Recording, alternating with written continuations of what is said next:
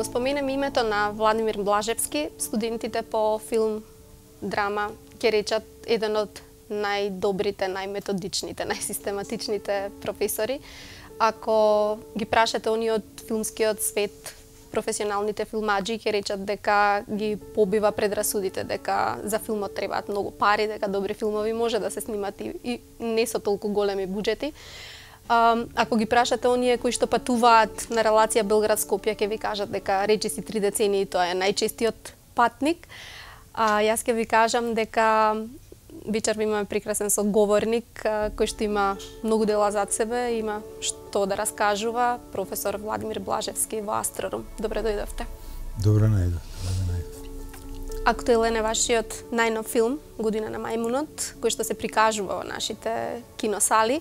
Тоа е една црна комедија која што во последно време се покажува и со успесите на филмот на Ѓорче Ставревски, дека е единствената форма која што прави да не полудиме во овој хаос кој што го живееме и дека најдобро е да ги свртиме работите на шега и да ја кажеме вистината. Која беше вашата идеја за снимањето на овој филм? Па делумно и тоа сега што го рековте бидејќи како како од кај да почнам бидејќи као и со многу тешки и горчливи лекарства Нели? Тоа е една аналогија која што ми е доста блиска. Многу, многу полесно е да се голтнат кога се со, не знам, со нешто, со нека глазура. Со, со глазура, да. Е, така да и, и реално во, во оваа филмскава наша дејност постојат многу чести тенденции, многу да речеме не само во наше, во некој искуство, наше искуство може би, мислам македонско не толку често, ама светско искуство да работите се миксаат, нели се се создаваат некакви контрапункти. Трагикомедија, не знам, разни хибридни жанри исто така. Една од причините е тоа што на тој начин се што има шанса да стане пре претенциозно, препатетично, претранспарентно во смисла на некаква е, критика или порака или нешто што се разбира. Најчесто ние као автори се обидуваме да оствариме, е, се приземнува, некако се, се е, е, обложува со еден слој на, на лефтерност, на приемчивост, на ете, комедија ако сакате, и мислам дека на тој начин не само да поефикасно делува на, на гледачот, него и просто е и така и уметнички за мене лично тоа е нешто што е повеќе предизвик. Така да тоа беше и моја некоја поидовна основа. Ја од стар знаев дека оваја приказна што ја имам раскажано у, у последниот филм, дека ја замислував као така, као една црна комедија или комедија на абсурд и уште као еден дополнителен момент кој што мене ме инспирира е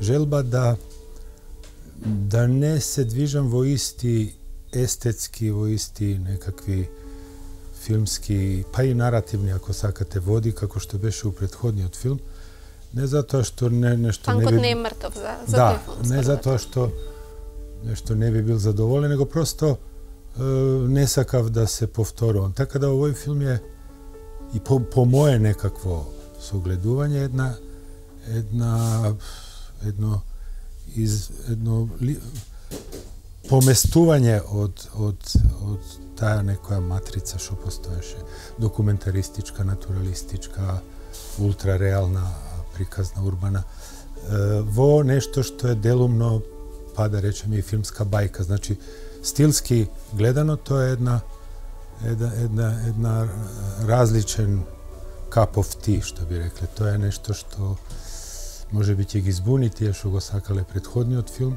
па го гледаат се овој новиот, ама мене ми беше здодевно да се да се повтарам, да правам нешто што е копи-пейст варијанта и лично не се чувствував дека треба да а па чак до таа мера да речеме да можда чак и експерим, експериментирам малце со нешто што порано не сум правил. Ако се обидеме таа паралела да ја продолжиме да ја развлечеме до Булева револуција, до тој ваш филм, тој веќе не се вика Булевар на револуцијата, туку Крале да. Александра. Ако се обидете да си го погледнете вашиот творечки пат во однос на автор на филм, до што стигнавте денес? Дали тогаш тоа беше резултат на обштеството во кое што живеевте, на вашите преокупации? Дали од тогаш нешто се има и во глобални рамки отидено нанапред, наназад, навнатре? бидејќи самите сте експерт за предавате теорија на филм, историјат на филм, па сигурно можете и вашите остварувања да ги ставите во такви рамки, да ги гледате во однос на целокупните процеси. Е, да, во тој Мене сега скоро имав некаков разговор, значи не, не е јавен, него нешто приватен. Чак не ми ни текнува кој тоа ми го каже, ама некој од моите пријатели филмаджи. А и то не сум размислувал може би свесно за ова за ова паралела помеѓу претходниот филм Панкот не е мртов и овој година на мајмунот, тоа е нешто што сега уште ме држи и што свесно сум го некако определено се се ова, решив така да таква стратегија да. А ова бидејќи многу голем голема дупка има помеѓу панкот и да и поише и и јаче од од премиера на едниот до премиера на другиот. ми излезе од фокус некако више не, ама тоа што сакам да поентирам е дека у тој муабет забележа тој пријателот дека сите тие за жал само четири филма што до сега играни имам направено се различни. И Хајфи е тука. Да. Исто, сите се... наградувани. Ама кога ги земете да ги анализирате некако као да и тематски и стилски се па и жанровски се разнородни. Значи нема некоја пре, о, повтор повторлива жичка или не знам нешто што е лајт мотив у таа некоја смисла да ги врзува. Веројатно има нешто што е авторски ракопис, ја тоа малце ми е нескромно сам за себе да да кажувам, ама е, предполагам дека нешто препознатливо е, постои. Меѓутоа, може би и, и тоа тоа резултат и плод на таа моја тој, тој мој уплав од од од повтарање од, од нешто да се да се рециклира, да се да се вади вредност на таму каде што веќе еднаш си бил. Значи се трудам стално нешто да да малце менувам, тоа ми е. Па веројатно е ви професионална деформација да правите ви секција, истото тоа да им го предавате на студентите, да извлекувате што е карактеристично за филмовите и Веројатно, да. познавајќи ги сите одвнатре, поголем е стравот дали ќе успеете да Јасно. направите добро дело. Јасно. Мене ми е основен она што би се рекло ако можеме онака 100% да поедноставиме као некаква моја стратегија во таа смисла. Е, основно правило е дека содржината, некаква субстанца, тема или е, авторски став што го имаш, врзано за одреден филм, ја диктира формата и стилот. Никад обратно, никад не сум поваѓал тоа сега сакам да направам не знам овако, ова, да правам некој филм оваков стил. Е, мислам дека тоа е превише би ми било механички. Би било конструктивизам. Така, Вака ве води самата содржина. Та, не да. некаков манир, нешто што ја не, не, не сум.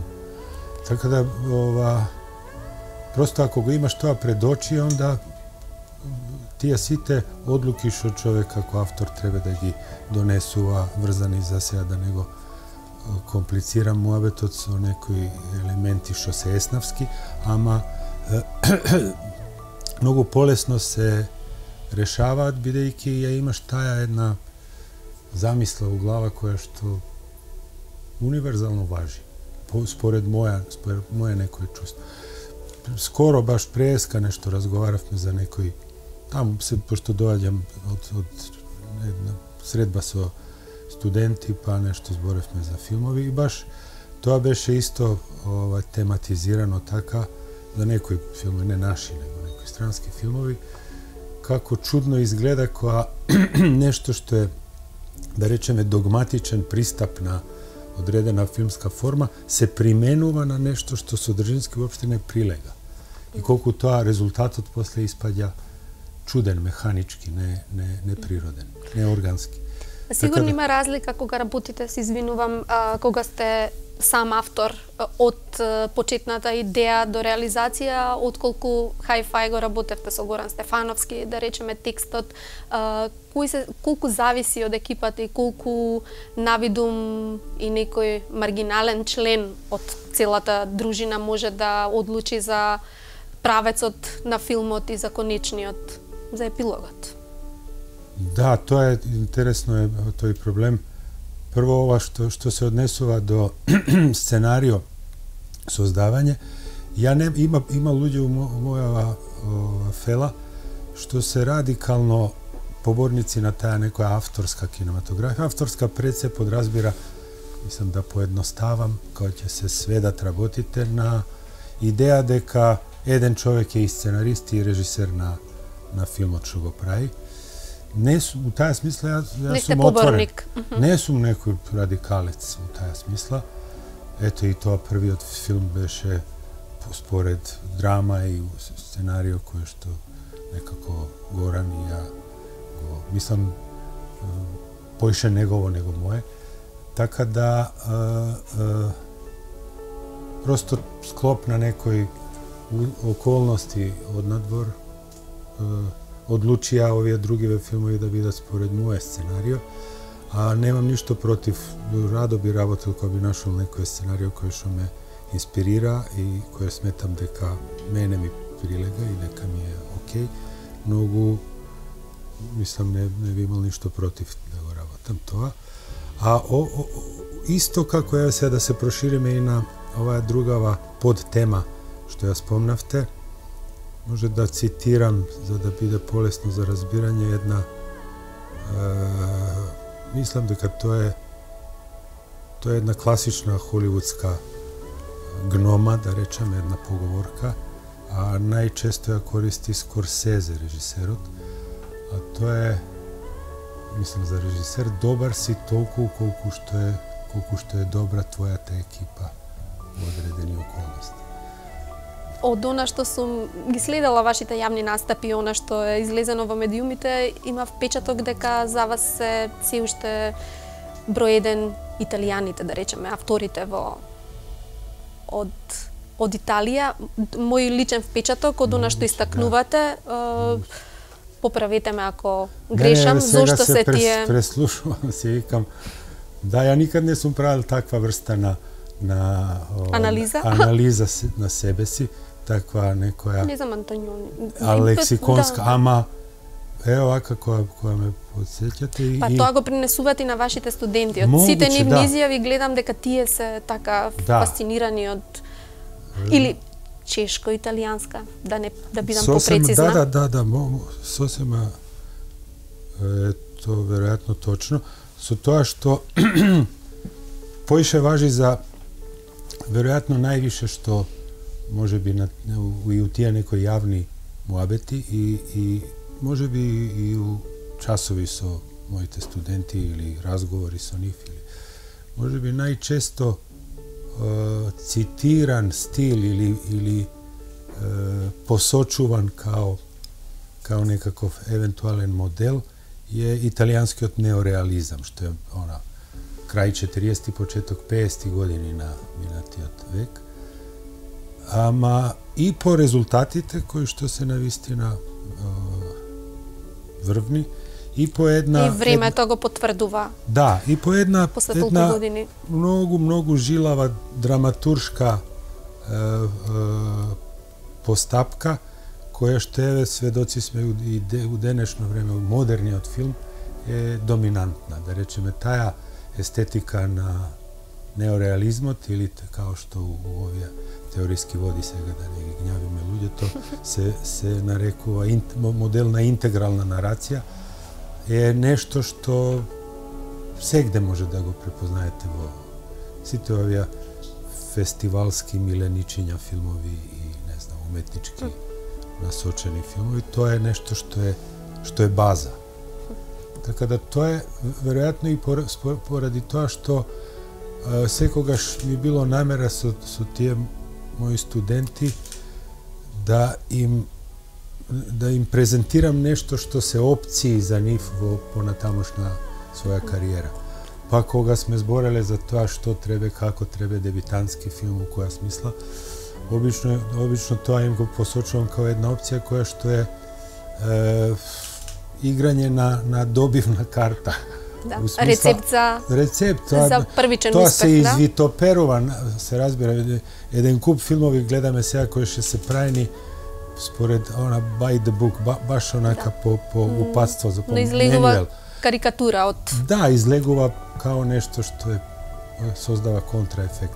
Баш тој рецепт што еве го спомнав. Така да сигурно тој италијанскиот неореализам и мене лично ми ми оставил најголема трага Вам ви е блиска и сега малку да ве сведам полокално од општото кон конкретното, но не мислам да ја разгледуваме Македонија туку Југославија, бидејќи вие имате увид постојано сте, значи еден од ретките сте што создадовте и кај мене заблуда, не бев сигурна дали сте скопјанец или белграѓанец, односно која ви е матичната земја. Хибрид, вие сте хибрид, скопјанец, меѓутоа најголемиот дел од животот и повеќе денови од годината сте во Белград отколку во Скопје, но никогаш земјава не оставивте, редовно имате увид и она да. што значи нов кадар, обучување на студенти, паралелно сте на двата колосеци што станува со југословенскиот филм Добитник сте и на Пулска арена, ги знаете состојбите порано, колку не погоди и во таа смисла растурањето, раздружувањето од таа држава кога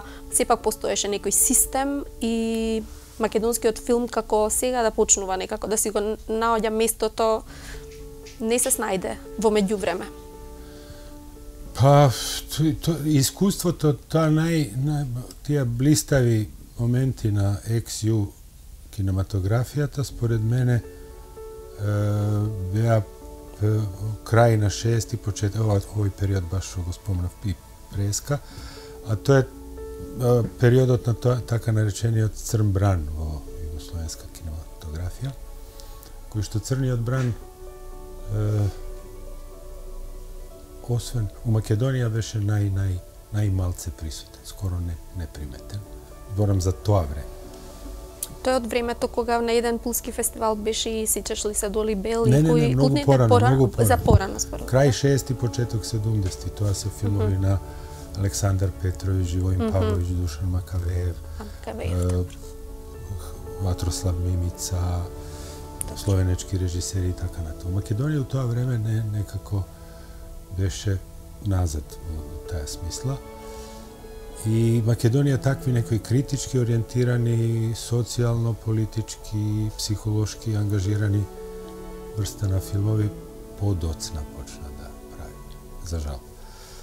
Е, за мене тој тој период е некако не не сега не зборам вредносно, кој ќе кој ќе гледа човек што се случувало после распадот на Југославија, па фактички може да видиш дека у разни други средини имало екстремно успешни филми. Например, босанците имаат направено неколку филма кои што биле многу забележани во светски филмски рамки.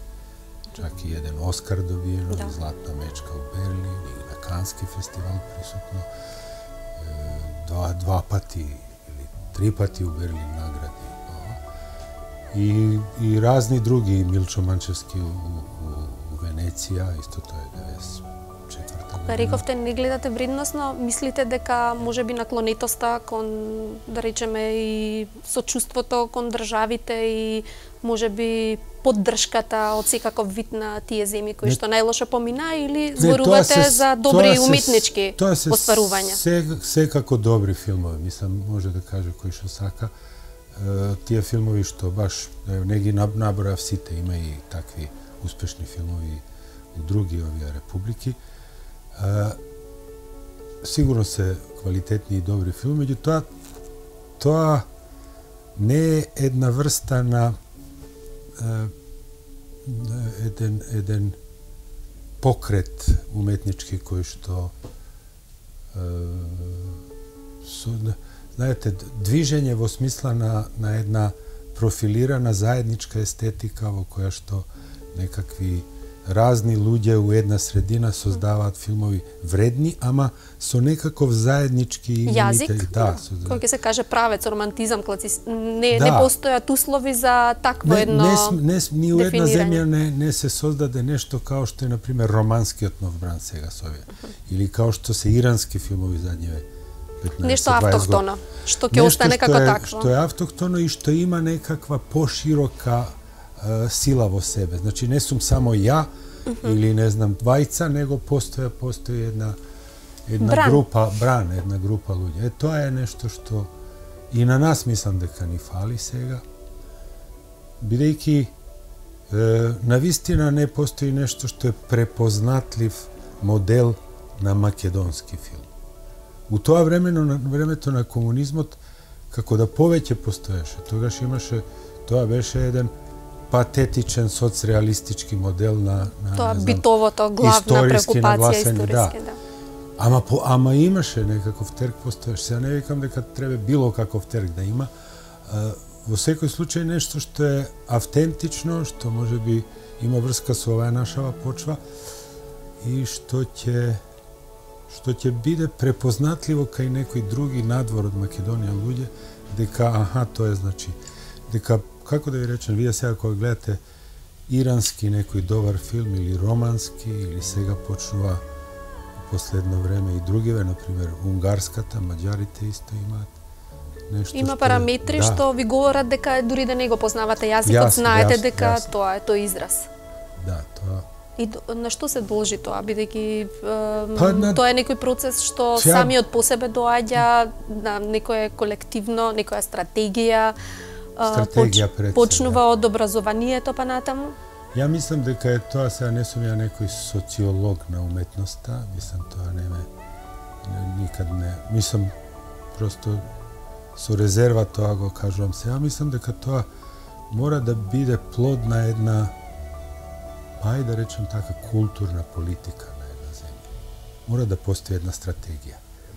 Мора да постои некаква одлука, некаква идеја чекај сега, форсираме, не у смисла другото нека умре, него највише ќе ќе помагаме и ќе насочуваме луѓе да прават критички ориентирани, субверзивни филмски приказни кои што зборат за несовршеноста на светот во кој што живееме. А по прашањето на кадар, знаеме колку години постои факултетот за драмски уметности овде, дали е тоа доволен доволен период за да може да очекуваме дека барем тие први болести се се надминати, преболени, по прашање на техничка подготвеност, на Да, разбирам, да.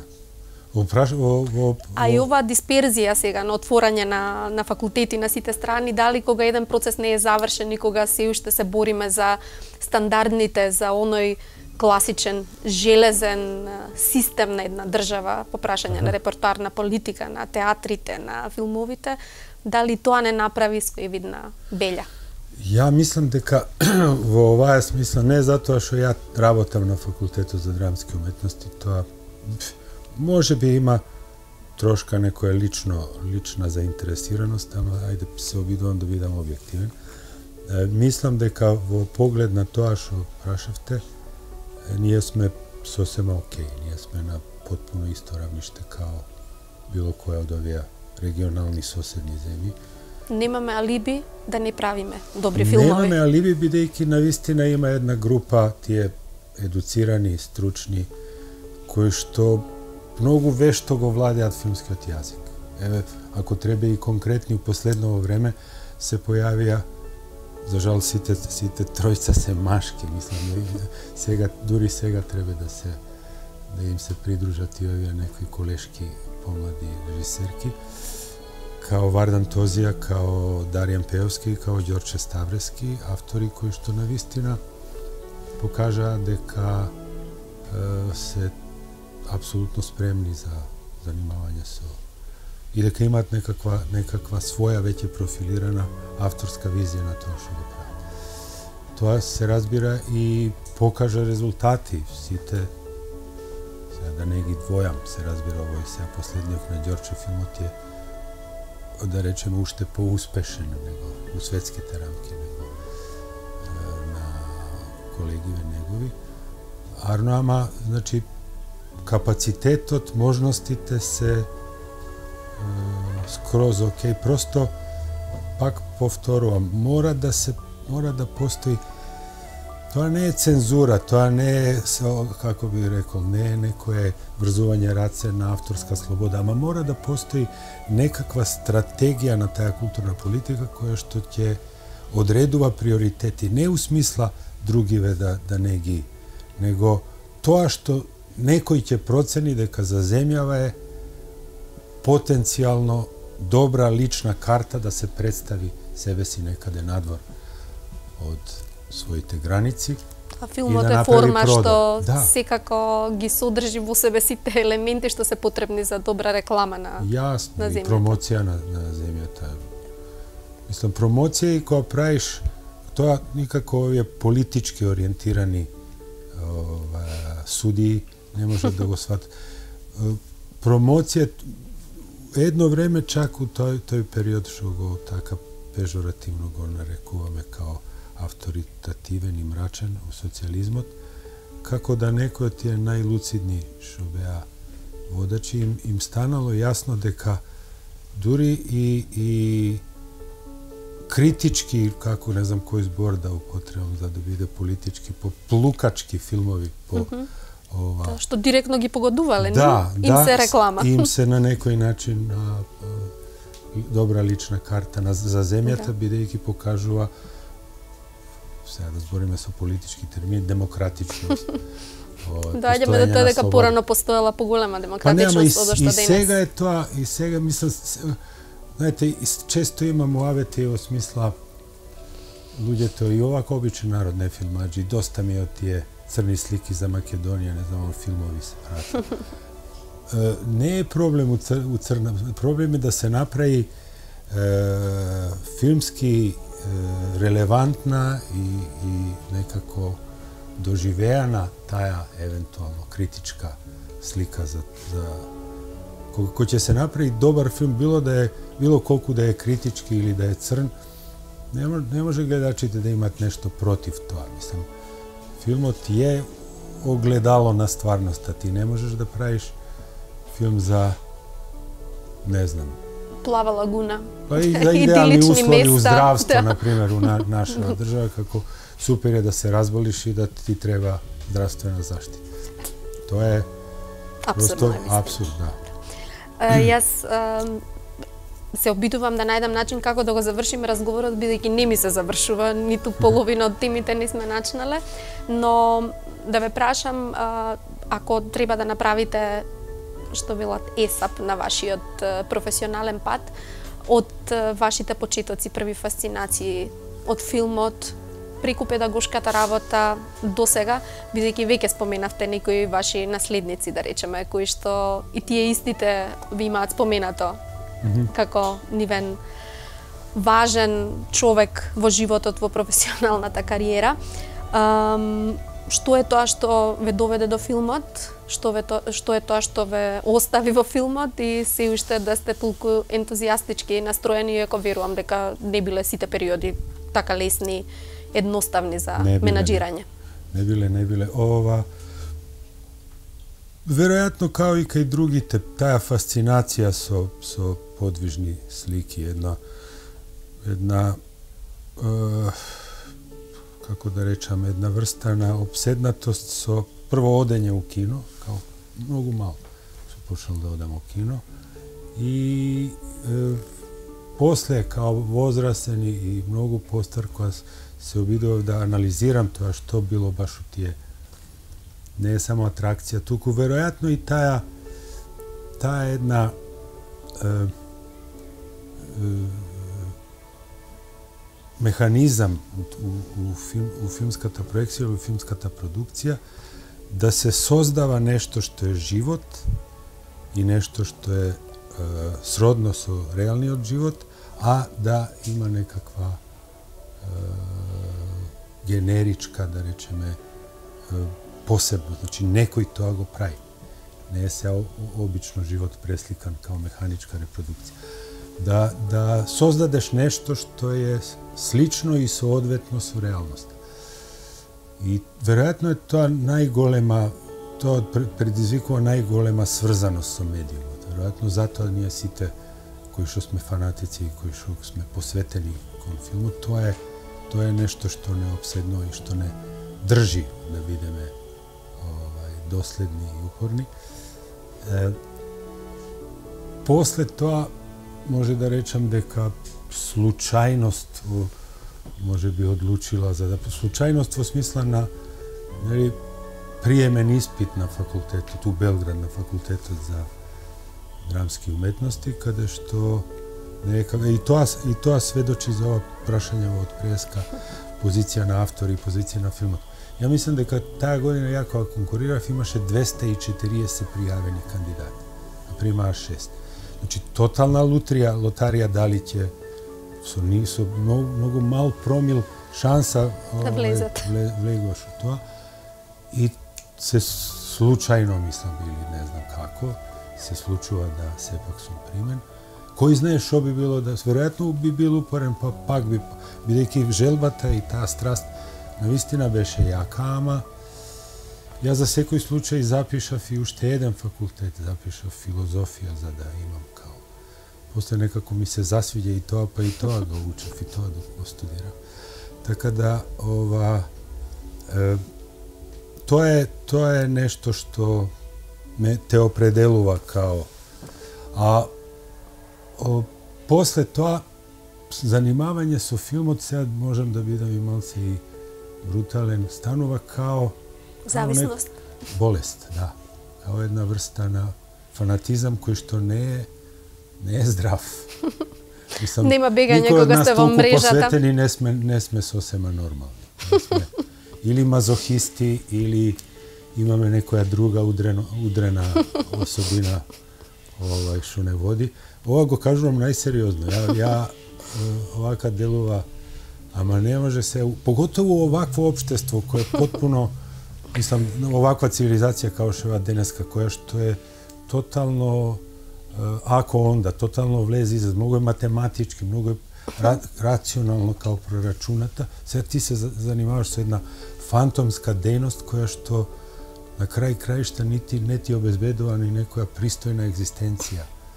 Не си млади луѓе сега кога се определуваат воглавно идат кон нешто што е што носи пари или нешто што за нашиот случај Македонија што ќе им донесе можност да бегаат негде овие Германии, Америки, Австралии, кај кај све што бегаат.